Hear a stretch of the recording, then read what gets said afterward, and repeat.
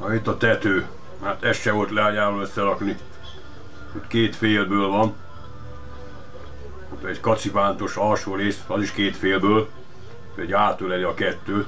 És akkor összeraktam, hogy másfél méteres hézak keletkezett.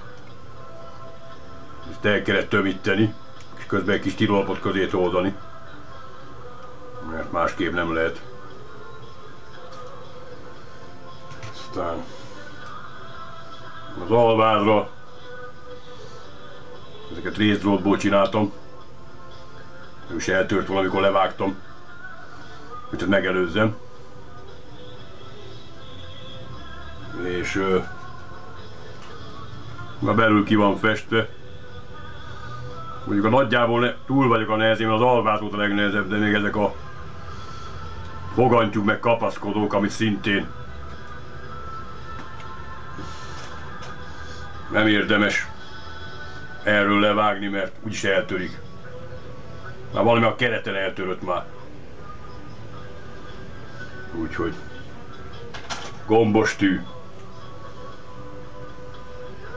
Itt van például egy ilyen. Sok ilyet kell csinálni. Itt van. Ezeknél is kell ilyet, oda meg hármat kell tenni.